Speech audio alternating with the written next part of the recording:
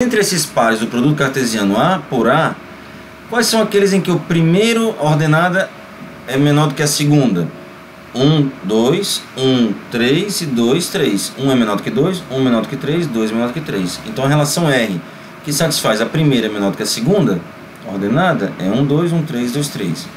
Nesse caso, quem é o domínio? É 1 e 2 e a imagem é 2 e 3, ok? Agora vamos ver outro exemplo, seja o conjunto dos números inteiros e a relação em A dos pares está o que? A igual a 2B. Ok? A relação, o A está relacionado com B, se somente se o A é igual a 2 vezes B. Quem é o domínio e a imagem? Vendo que o conjunto A são os números inteiros. Veja, o A, que é a primeira ordenada, tem que ser um número par. Não é isso? E a segunda ordenada pode ser qualquer elemento. Porque sempre que eu pegar um elemento B, multiplicar por 2 vai continuar sendo inteiro. Então está tudo bem. Então a imagem da relação R são todos os inteiros. E o domínio da relação R são todos os inteiros pares. A igual a 2B. Outro exemplo, seja o conjunto dos números reais e a relação R em A, nos números reais, AB está o que? A ao quadrado mais B ao quadrado é igual a 25. Nesse caso, vamos ver aqui rapidamente. Como B ao quadrado é sempre um número positivo, no, no, o menor valor é zero, A ao quadrado é igual a 25, se for B igual a zero, A é igual a 5. Né? Mas pode ser menos 5 também, A igual a mais ou menos 5. Se o A for zero, B mais ou menos 5. Então o A varia de menos 5 a 5, o B varia de menos 5 a 5. O domínio da relação é, são os elementos de menos, é o intervalo de menos 5 a 5 dos números reais e a imagem, o intervalo de menos 5 a 5 também nos números reais. Esse aqui representa, esses pontos são os pontos da circunferência de raio 5, com centro no ponto 00. Né? Agora alguns exercícios.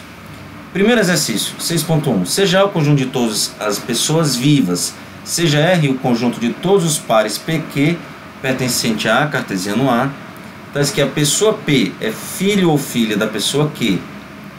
Descreva os conjuntos domínio da relação, imagem, a interseção do domínio com a imagem e a união do domínio com a imagem. Vamos ver aqui rapidamente. Exercício 6.1, uns slides aqui à parte. A é o conjunto de todas as pessoas vivas. Então, os pares da relação são de pessoas vivas, né? Então, quem é o domínio? É o conjunto de todas as pessoas vivas que estão relacionadas com alguém, que tem o pai ou a mãe vivo, né? Se tem uma pessoa, todo mundo, claro, tem pai e tem mãe. Se por acaso os dois estiverem, já tiverem falecido, ele não vai participar mais dessa relação, né? porque a relação é no conjunto A de todas as pessoas vivas. Então, domínio é o conjunto das pessoas vivas com pai e mãe, pai ou mãe vivos.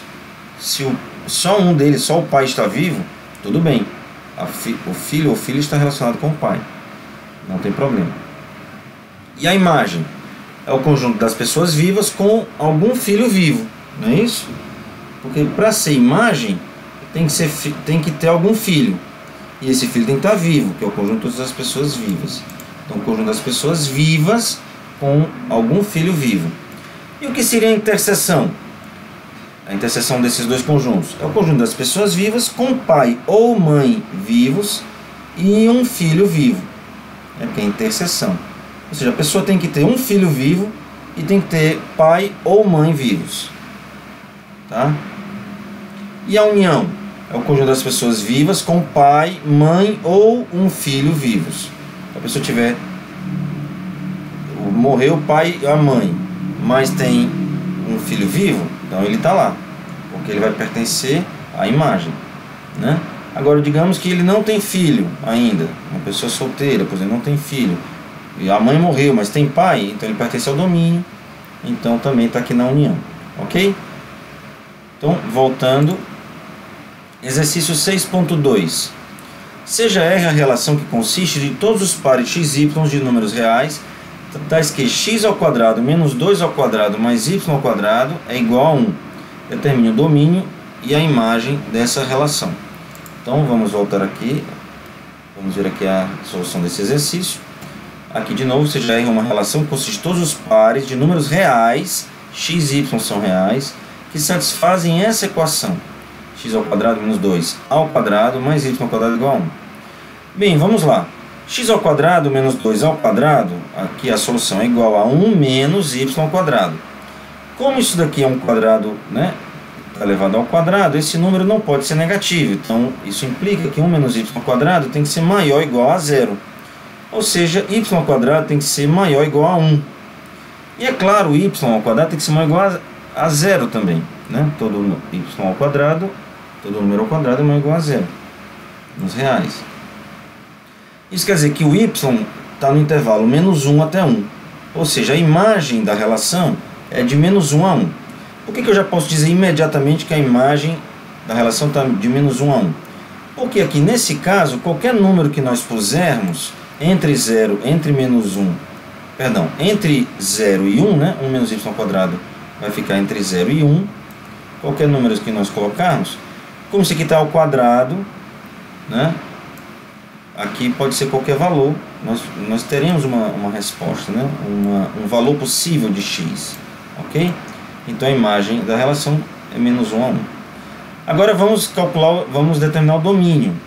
x ao quadrado menos 2 ao quadrado é 1 menos y ao quadrado, ou seja, x ao quadrado menos 2 é a raiz quadrada de 1 menos y ao quadrado. Pode ser mais ou pode ser menos.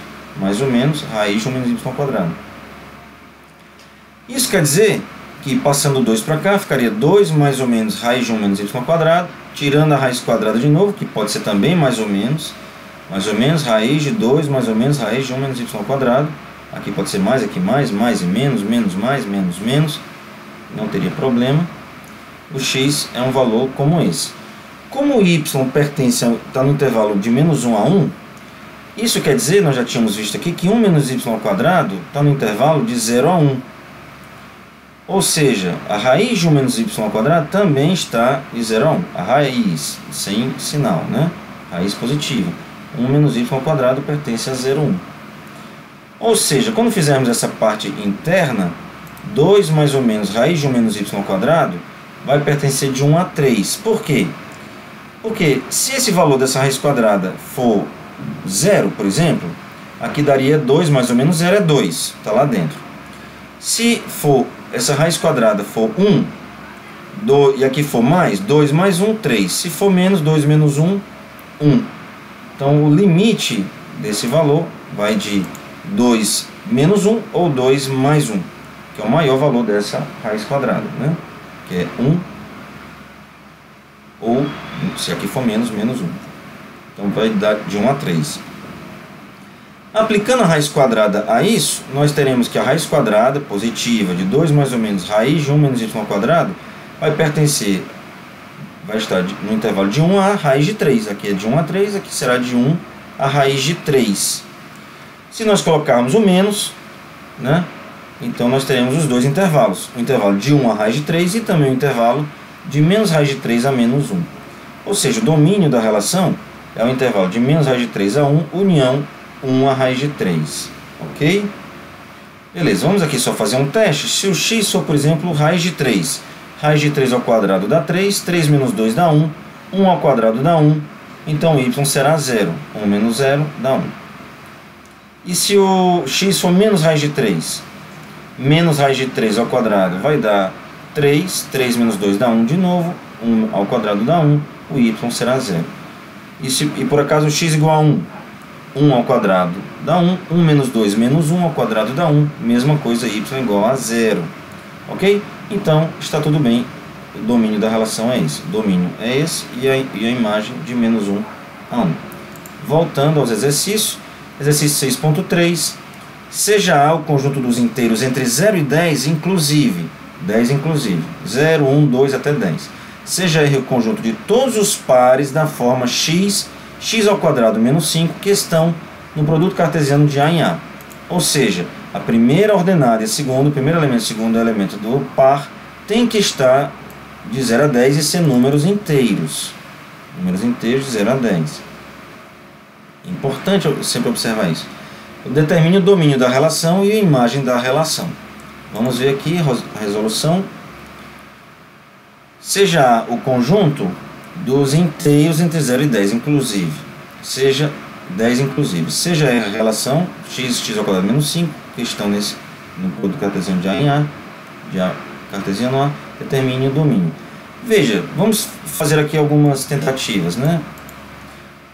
x pode ser 0, 1, 2, né? Então vamos tentar 0, 1, 2, 3, 4, 5 até 10. Se for 0, 0 ao quadrado, 0 menos 5 vai dar negativo, não está de 0 a 10. Então está vermelho aqui porque não, não, não é um par ordenado satisfatório, porque aqui não está de 0 a 10. Se x for 1, 1 ao quadrado 1 menos 5 vai dar negativo, também não é satisfatório, tem que estar de 0 a 10. Se for 2, 2 ao quadrado 4 menos 5 menos 1 também não está de 0 a 10, o segundo elemento, então não é satisfatório. Se for 3, 3, 3 ao quadrado 9 menos 5 dá 4, 4 está no intervalo de 0 a 10, é inteiro, então ótimo. Se for 4, 4, 4 ao quadrado 16, 16 menos 5 dá 11, 11 já passou de 10, então não vale. E se for 5, 25 menos 5 dá 20, então se x for maior, aí que vai, x ao quadrado menos 5, aí que vai ficar fora maior do que 10 mesmo. Até 10, 10 ao quadrado 100 menos 5, 95 é maior do que 10 também, não está valendo, não pode, está na relação. Ok, então já vimos que a solução só tem um par, 3, 4. Como nós provaríamos isso de um modo mais, digamos, mais elegante, sem ser listando, enumerando todas as possibilidades? Seria assim: x ao quadrado menos 5 é, tem que ser maior ou igual a zero, e x ao quadrado menos 5 tem que ser menor ou igual a 10, não é isso? Porque esse par, esse elemento, o segundo elemento, tem que estar entre 0 e 10 também. Então x ao quadrado é maior ou igual a 5, x ao quadrado menor ou igual a 15. Como x é inteiro, então x tem que ser maior ou igual a 3. Porque se x fosse 2, 2 ao quadrado, 4. Não é maior ou igual a 5. Então x é pelo menos 3. x ao quadrado é menor ou igual a 15, x é menor ou igual a 3. Porque x, se x for 4, 4 ao quadrado é 16. Não é menor ou igual a 15. Então x maior ou igual a 3, x menor ou igual a 3.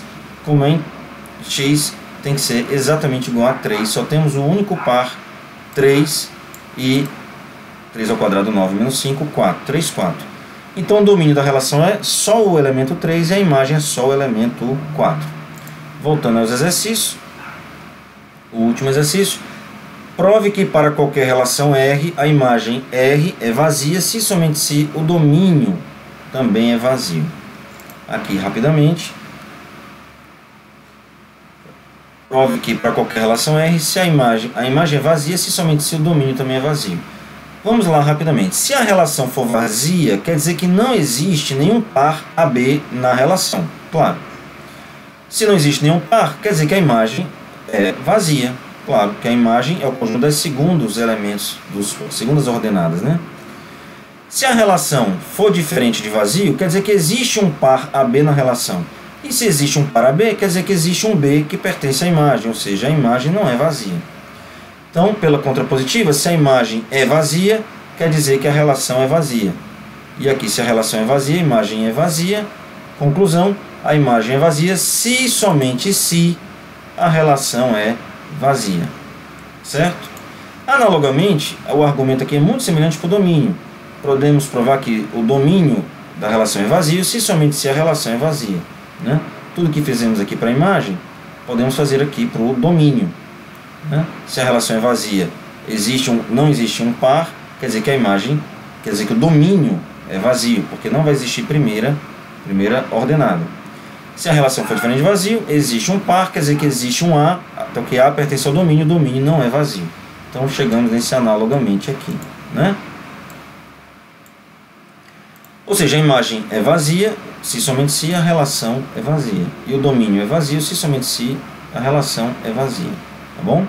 Portanto, a imagem é vazia se somente se a relação é vazia, se somente se o domínio é vazio. Ou seja, a imagem é vazia se somente se o domínio é vazio.